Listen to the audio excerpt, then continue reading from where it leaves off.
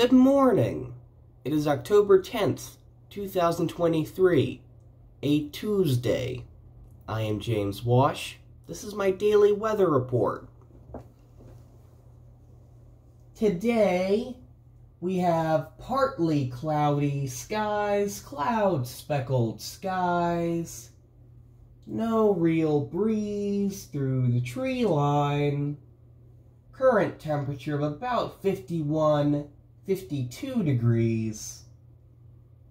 Not a bad way to start the day.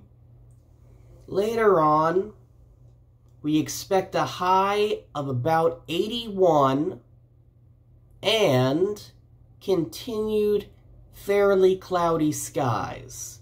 No real chance of rain today. Have a good day.